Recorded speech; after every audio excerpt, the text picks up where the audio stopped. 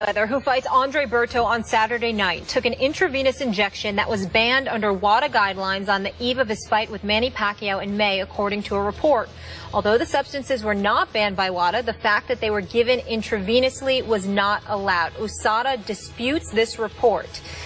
Skip, will this story have an impact on a potential rematch with Pacquiao? Stephen A., I believe it will because Floyd Mayweather Jr. looks bad here. He looks laughably hypocritical. I believe he owes a healthy Manny Pacquiao a rematch. And I would love to see these two fighters make this deal and announce it six months before the fight so that Floyd Mayweather Jr. could be subjected to daily 24 hour real testing, Olympic style drug testing that boxing has never undergone before. I want to see Floyd go through that for six months ahead of this fight. Skip, Floyd Mayweather is a pariah to a lot of people, and he's still worth nearly a billion dollars. I can assure you he ain't sweating it, especially if he finds out that Manny Pacquiao or someone from top rank had something to do with this information leaking out. He will never give them the satisfaction of a rematch if he finds out that they had something to do with this. Whether it's true or not, he won't do it. Okay. He, he will get shamed for that. He won't care. He'll be away from the game. He won't give a damn. All right. We shall see. Steelers Pats tonight. NFL is back. Thanks so much for hanging with us here on First Take. For Stephen A., Skip Bayless, I'm Molly Qerim. We'll see you guys tomorrow. Today, the NFL season opens, but one man who can is Floyd, and we have to get into this story right away. Floyd Mayweather, who fights Andre Berto on Saturday night, took an intravenous injection that was banned under world doping world excuse me anti-doping agency guidelines on the eve of his fight with Manny Pacquiao in May according to a report SB Nation said Mayweather's medical team told collection agents that IV of saline and vitamins was given to Mayweather for rehydration purposes following the weigh-in. Although the substances were not banned by WADA, the fact that they were given intravenously was not allowed.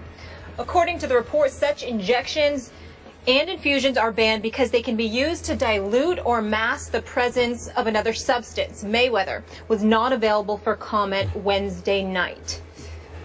Skip, your reaction. Stephen A. Smith. This story really, really makes me wonder about what your man Floyd Mayweather Jr. has been up to. Because we all know that Floyd Mayweather Jr. has been out front for the sport of boxing, trying to clean it up in the fight against steroids. And now I'm starting to wonder if all that was just an act. A lot of bluster, uh, a lot of sleight of hand deflection of blame because maybe he was trying to deflect any scrutiny off himself, Floyd Mayweather Jr. And it seems extra hypocritical today because I remind you, as you well know, that Floyd and members of his camp publicly accused my man, Manny Pacquiao, of PED use, and my man Manny was so offended, he took them to court and he won. And I also remind you that my man Manny, the night of that fight in Las Vegas, May the 2nd, was denied the, the ability to take a pain-killing injection in his torn rotator cuff because he had not submitted the day before the proper paperwork. So meanwhile, that day before, right after the weigh-in in Las Vegas, what happened? According to this report by Thomas Hauser and SB Nation, Floyd Mayweather Jr. went straight home and took an IV that is against the rules unless you're granted an exemption. By the way, that exemption was not granted by the U.S. anti-doping agency for 18 more days. They did it in hindsight. In retrospect, they said, oh, well, we, we're going to say it's okay 18 days after the fight. And it wasn't until 20 days after the fight that the U.S. anti-doping agency thought it might be a pretty good idea to inform the Nevada Athletic Commission that Floyd got this exemption for therapeutic use, this IV. Let me tell you what this IV reportedly had. It had 750 milliliters of whatever solution it was, saline and vitamins, doesn't matter what it was, saline solution. 750 milliliters went into Floyd's body, according to this report. The World Anti-Doping Agency that Molly referred to, the one I hang my hat on, the Olympic Testing Agency, says that the cutoff is 50 milliliters. Floyd went to 750 milliliters when only 50 are allowed under Olympic style testing. Why? As Molly pointed out, because if you put 750 milliliters in your body, which according to the, the average weight of an average male would be about 16% of your, your blood system, you can mask whatever's in there. You can cover it up going into a big fight against Manny Pacquiao. It doesn't prove anything, but it smells to high, highest heaven.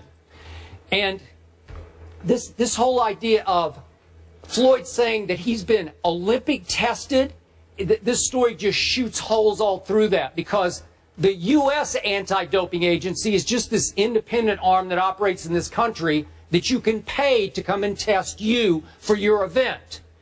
So its integrity has been challenged here. Its credibility is being challenged here because Floyd will call upon the U.S. anti-doping agency to come and test him closer and closer to fights because he's gotten smarter and smarter. Floyd doesn't announce his fights until very close to fight time. Andre Berto, we know is tomorrow night, September 12th. That Floyd, uh, that fight didn't get announced until September, I'm sorry, August the 4th. So in four or five weeks, that's all the testing that the U.S. anti-doping agency is, is able to do. So what happened between the Manny fight and all the way up to August the 4th? Floyd could be doing anything. Olympic testing is 365 days a year, seven days a week, 24 hours a day. Floyd has never been subjected to that kind of testing.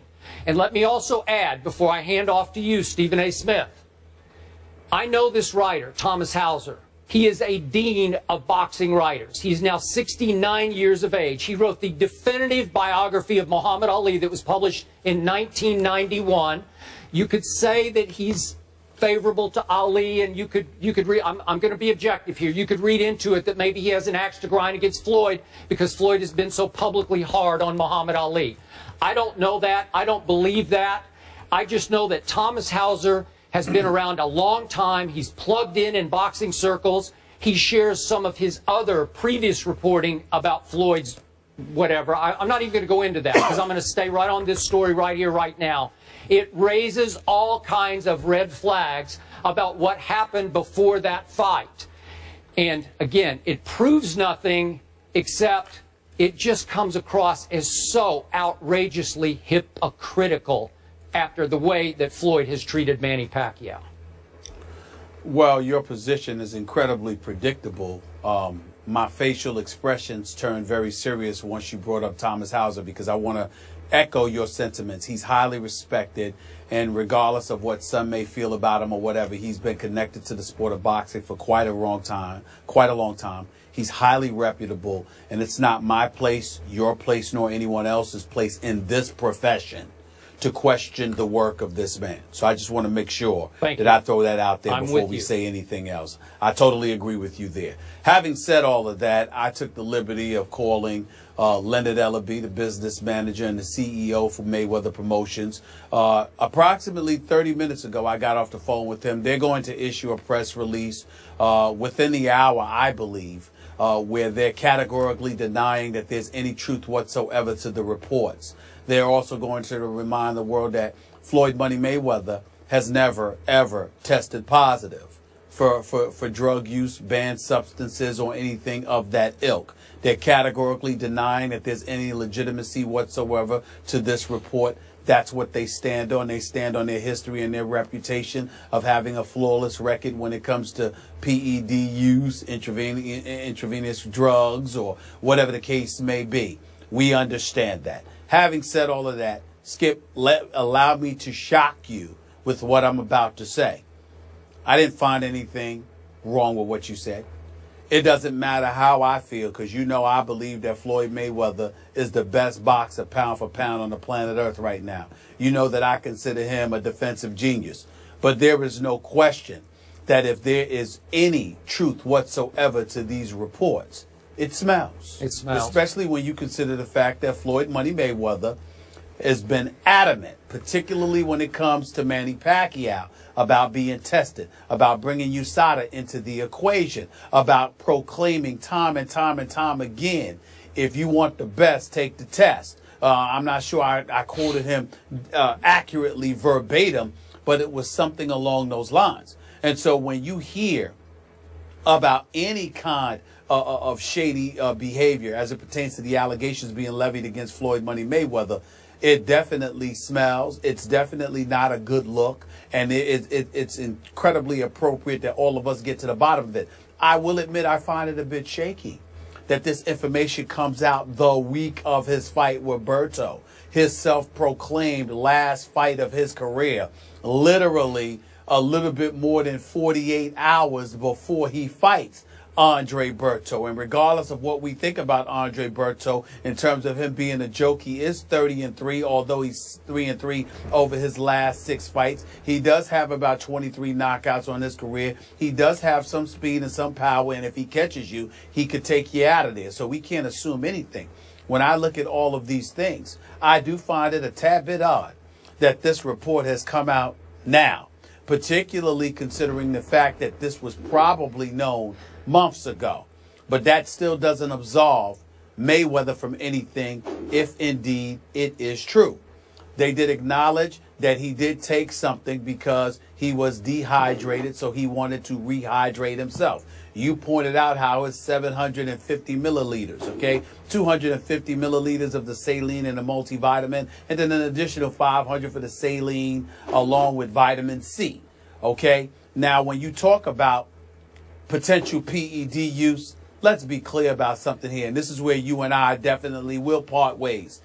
There have been accusations made about Floyd Money Mayweather in the past, although that there was no there was no proof presented. I believe somebody associated with Max Boxing threw something out there about Floyd Money Mayweather working in concert with Golden Boy Promotions and them having, you know, connections with USADA and you know, brought that to the attention of the Nevada State Athletic Commission. I don't know how far that went, but clearly it didn't go far enough because we never heard anything really about it. Okay. But let's be clear, Skip Bayless. The kind of PED use that though that, that, that many suspected Manny Pacquiao of doing with Floyd Money Mayweather, you yourself have said on many occasions, he's a pillow puncher. He's got 26 knockouts. The last real knockout of his career to you was in the late 90s, even though I count Ricky Hatton as a knockout, etc. You know, you kept pointing out how he's devoid of power and what have you. Do not equate Floyd Money Mayweather with Manny Pacquiao you know, Clottey and Oscar De La Hoya, even though Ricky Hatton's got a glass jaw, do you know what he did to Ricky Hatton? I'm talking about Pacquiao here. What he did to Miguel Cotto, what he did to Antonio Margarito, what he was doing to Sugar Shane Mosley, even though that ended up being a decision when he dropped him in the third round. Manny Pacquiao not only was delivering knockout punches, Manny Pacquiao was also taking punches from much bigger and conceivably stronger individuals at the time that these suspicions about him were raised. I don't see any of that with Floyd Money Mayweather. We see a guy that's the same size. We see a guy that's devoid of the knockout power. We see a guy that's prepared to go 12 rounds each fight, etc., etc. So although I am willing to say to you that this does need to be investigated and it needs we need to get to the bottom of this and if indeed any of this is true Floyd Money Mayweather does come across as a flaming hypocrite if there is truth to this report I would ask you to keep in mind how they're categorically denying it how Leonard Ellerbe is scheduled to issue a press release all right for Mayweather Promotions and last but not least it doesn't compare to what we were seeing from Manny Pacquiao at the height of his stardom. When what Manny Pacquiao was doing to cats while moving up in weight was absolutely unequivocally extraordinary. And it raised a whole lot of suspicions. You didn't see anything from Floyd Mayweather to raise suspicions. I would like to point that out. Okay. Back to your points in order. The timing of this report is timely. At least Floyd's in the news right now. Isn't this the end of his career potentially? I'm not buying that, but that's what he says. He is going to fight tomorrow night. Okay, so so I don't have a problem with the timing of the report. I do have a small problem with what you're saying, and I agree with you about Pacquiao. He did seem to get a little stronger as he came up in weight, as he had to, and he was just destroying dudes on the way up. I'm with you on that. But remember this, and you know this about PED use. There are two sides to it increasing power, increasing recovery at advancing age. Floyd Mayweather Jr. Okay. is now 38 years of age. So I could see where at some mm-hmm. point, I'm not, I don't know this for a fact, but you could resort to it for recovery from some of the beatings that you have taken. Because Floyd has taken some punish. I know he's the greatest defensive boxer ever, but he's taken some shots before. You've talked about him on this show. But I'm saying well, there could be just recovery involved here. Well, Skip Bayless, he got hit by Sugar Shane Mosley in round rocked. two of their fight. Yeah. He got rocked by the at the end of the third round by Maidana in their fight. He did. What other beating has he taken? Okay, but I'm just saying these are I mean, shots got, for got, an, an aging hit. fighter to take. Well, well, well, well, work with me. Work with me. He got hit by a blow in two fights. One by Sugar Shane Mosley, the other against Marcos Maidana. At no other time has he been beat up in his career. Manny Pacquiao, I believe it or not, I've never had a, a, a problem with the power that Manny Pacquiao exhibited when he was moving up in weight. Even though others may have skipped, that wasn't my issue with Pacquiao. You know what my issue was? How he would literally invite you to punch him. Like bring it on and literally yeah. take punches. Okay. And I said, whoa. Now right. that, I mean, when you see the pythons on a guy like Clottey, when they fought at the at, at Jerry Jones billion dollar yeah, I know, I know. And I saw this guy take a Well, you okay, know, that's what but, I'm Stephen two are two different things. Manny Pacquiao was yeah. born with natural punching power that Floyd never has had. I agree. I'm sorry, it got you could argue got enhanced, but I'm not arguing that. Okay, now I'm going to close this up by saying you ref, uh, referred to the reports on Max Boxing back in the, the website back in 2012. Yeah. A lot of those came from the same Thomas Hauser. I, I just encourage okay. our viewers, if you have a couple of minutes, because it's going to take a couple of minutes, go read Thomas Hauser's report on SB Nation right now because he goes into detail about all of his past investigations into Floyd's. Well, I'm, I'm going to leave it alone because I don't want to. I, I, don't want to accuse Floyd any more than the, what we did with this this IV. Okay, but go read it, it and and ju- you know then you can make your own conclusions because he did have one hard evidence that he reported even again today. Before the Guerrero fight, the, the Mayweather Guerrero fight, Floyd did have a test that became public by USADA that was a red flag test. It's the, the testosterone to epitestosterone levels. They were out of balance enough that, that trust me, the Olympic testers, WADA, the, the, the World Anti-Doping, they would have red flagged that one and said, wait a second, we got to retest here. So Thomas Hauser does have that. I'm, I'm just saying Floyd doesn't have a spotless record here. It doesn't look. I agree with that. It does not look spotless. He may have some. He may have some explaining to do. But I'm saying to you, he sort of de- deserves the benefit of the doubt from the perspective that in the ring we've seen nothing different, whereas we saw something significantly different along the way with Manny Pacquiao. That's all I'm saying. All right, we'll leave it there. We'll continue.